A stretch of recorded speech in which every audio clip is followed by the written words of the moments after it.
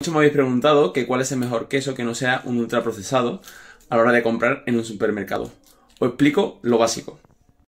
Los ingredientes que tiene que tener todo queso es leche, cuajo y fermentos lácticos. Y poco más. Cloruro cálcico, pero vamos, sal, pero lo básico es leche, cuajo y fermentos lácticos. Así que vamos a poner más ejemplos. Este sería queso de cabra. Tenemos aquí un ejemplo, el ventero tierno, que fijaros los ingredientes son leche pasteurizada, cabra oveja, sal, estilizante, fermento láctico y cuajo. Lo tiene, no tiene nada más. Queso de proteína de Arla, que más de lo mismo.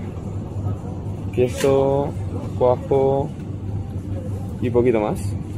Queso de Arla, que miramos los ingredientes y más de lo mismo.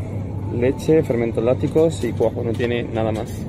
Este sería un queso de los que debemos evitar, ¿vale? Los tranchetes para fundir. Que fijaros los ingredientes que son queso, mantequilla, proteína de leche, lactosa, leche, sales y aquí un montón, pues lo que son colorantes y conservantes. Los 331 y 339. Y como resumen, para que no te hagas mucho el lío, consume quesos de este tipo. Tiene así en lonchas y evita lo que son los tranchetes. Y mira la etiqueta que siempre tenga pues leche cuajo y de conservante a poder ser el mínimo posible.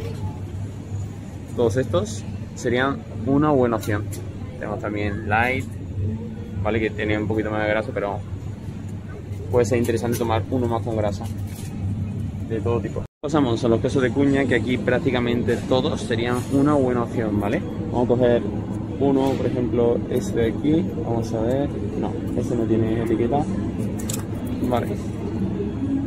Aquí, volvemos, lo mismo. Fermento láctico, sal, cuajo.